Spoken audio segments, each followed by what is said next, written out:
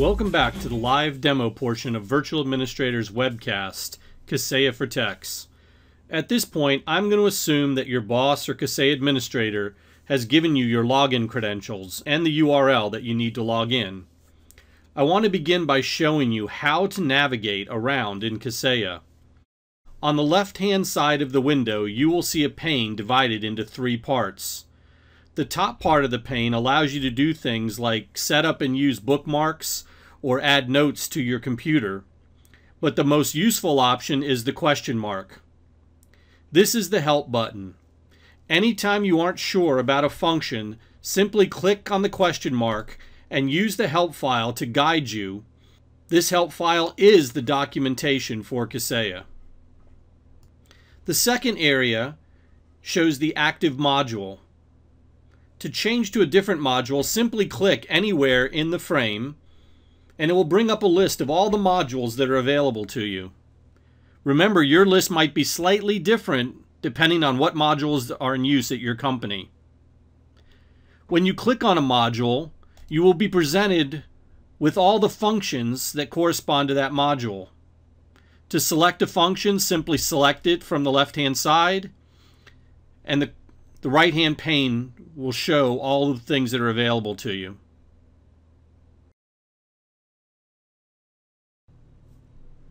Next, we're going to talk about filters. Up at the top of the screen in the shaded area, you're going to see three different filters that can be used in Kaseya.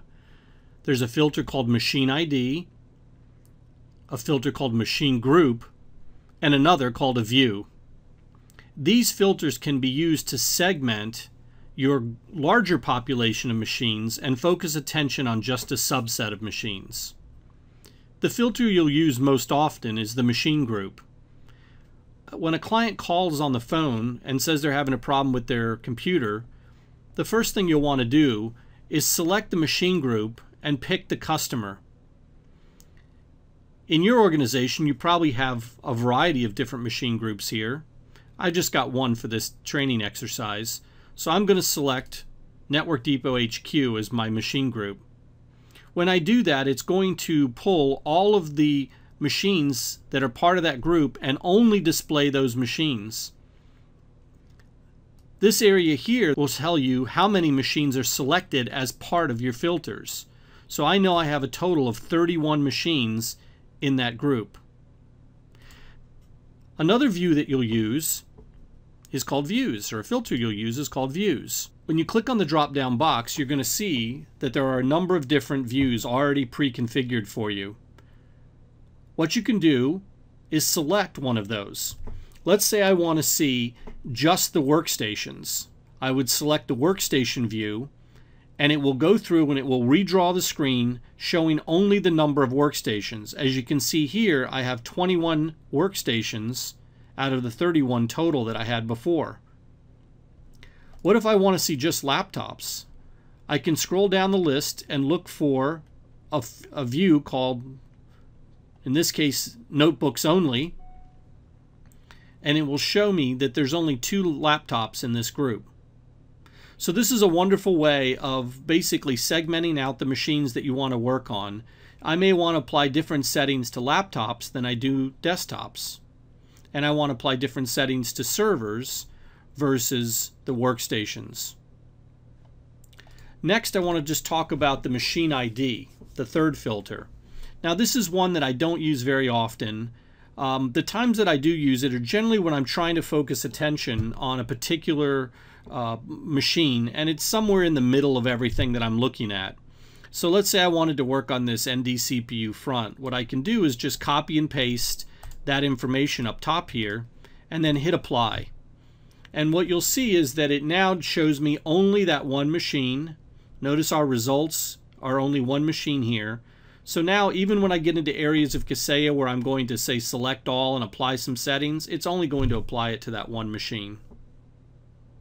Now, you may find that you accidentally um, put a, put a uh, some characters in here, or you get to a, a combination of filters that is resulting in zero machines. If that happens, instead of trying to figure out what you've done wrong, just simply click this little reset button up here on the right hand side That's why it's there. Click it once and it's going to erase all the filters and it will show you all the machines that you have in your entire database. Now notice how more machines displayed on the screen. That's because I had the show button set at 10 before. That shows me only the first 10. When I do that, I now have four pages of machines. So if you don't see what you're looking for, it could be that the show is set very low. Now I'm showing 30, but remember I had 31 total, so that means I have one machine on that second page. And there it is. We like to keep this at 10 or 30 because it does improve the performance of the server as it's going out doing a query, it's, re it's returning less results in doing this. So it will improve performance by keeping that number low.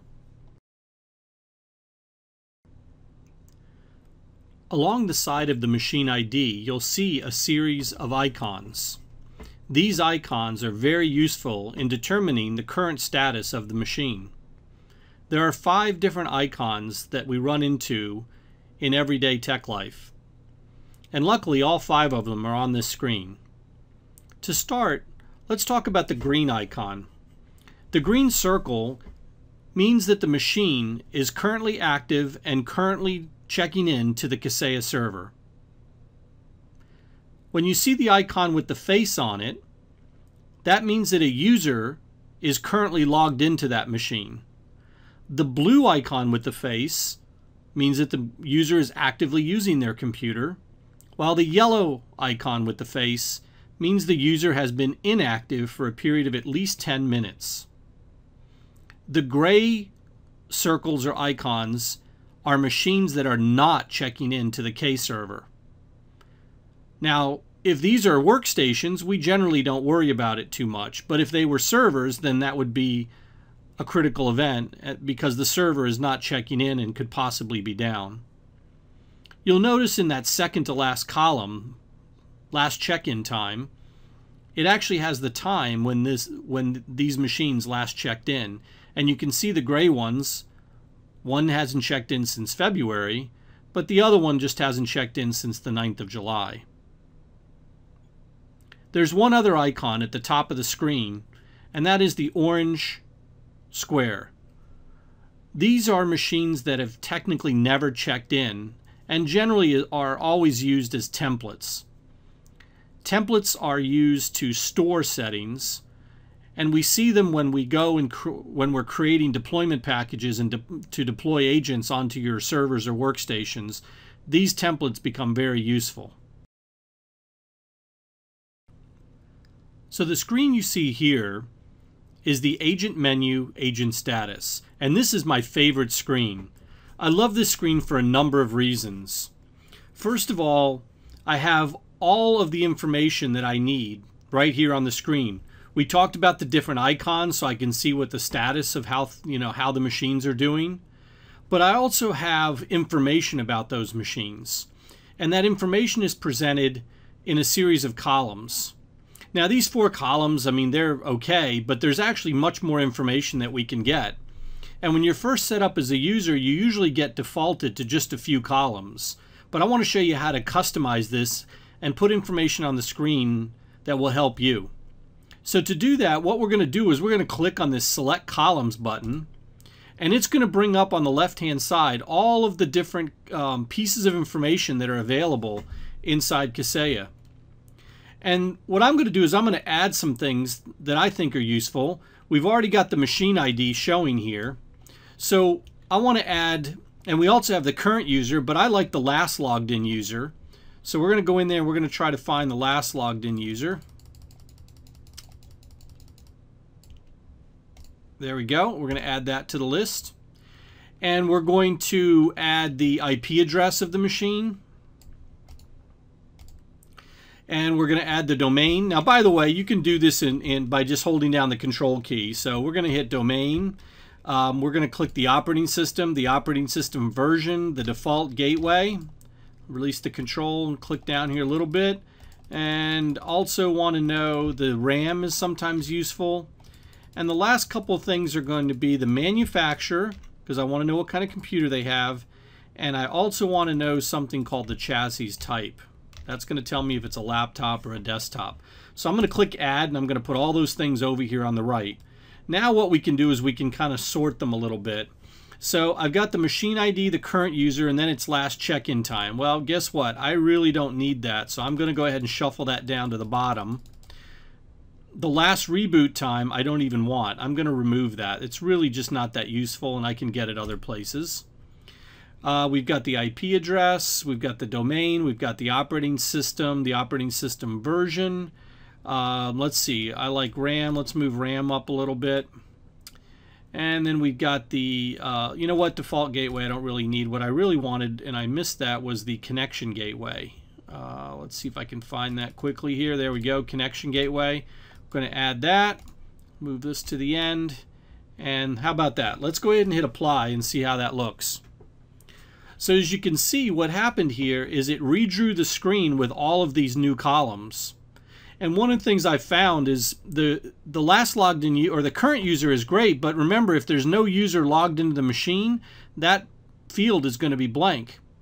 So what I can do from the last logged in user, I can actually see that Jay Bulger was the last one to log into this computer.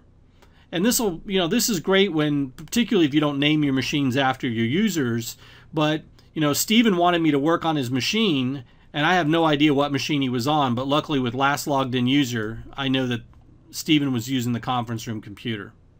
The IP address is useful, and by the way, you can sort on any of these columns. Just click on the top, and it will it will put them in in um, numerical or alphabetical order for you. Uh, the domain work group, it'll come up in a second. There we go. The domain work group. Now this is very useful as well. It tells me the NetBIOS name of my domain, but more importantly, it tells me that what machines are domain controllers and what machines are simply domain members. So if I were to look at, say, the servers only, uh, you'd be able to, be able to see which machines are domain controllers and which machines are just domain members. And if you happen to have um, workstations like that's not a member of a domain, it's going to be a W. Let's see if we've got any here. What you'll have is a little W. There's one right here the W tells me that that is a workgroup computer, not a domain computer. So this column is the operating system, so we can see we're running Windows 7, but more importantly, I can see the version of the operating system. I know whether it's professional, whether it's home, ultimate. I also know if it's 64-bit, because if it's if it's 32-bit, it doesn't say anything. The 64 bits all have the x64 in there. And I even know the build and the service pack that are assigned to those particular machines. So I could look at this client and say, hey, why isn't Service Pack 1 installed on a couple of these computers? If I keep scrolling over, we can see the RAM. If you have a customer that might have um, be complaining that their machine is running rather slowly, you can check their RAM. And if they only have, say, a gigabyte of RAM for a for a uh, Windows 7 machine or 512K of RAM in a Windows XP machine, that would be a pretty good indication of why their machine is running slowly. I can see the manufacturer of the machine, and I can also identify notebooks, desktops. Even if we look at the um, servers, I, uh, it'll tell us if it's a rack mount. And again, this information only uh, it comes from the manufacturer, so it's got to be programmed in by the manufacturer. It's it's obviously the the system can't uh, take a picture of it and see exactly what it is. And then we have connection gateways, which help me to determine where people are located. And if I do need to have the last check-in time, it's located over there on the right-hand side. And that's good for the machines like when we were talking about earlier, the machines that were offline. I can go in there and see, hey, wait a minute, you know, how long has that machine been offline? Maybe I need to delete it. It's been, you know, it's been uh, decommissioned. So when you get a few minutes, uh, go in there and, and set this up the way you want it, sort things the way you want it. Uh, that's the beautiful thing about Kaseya. It's very customizable. Again, remember, this is the agent tab in the agent menu. And if you'd like to set that as your permanent landing zone, go over to the system tab, go to your preferences, and in this drop down box here, set first function after login, make sure it says agent agent status.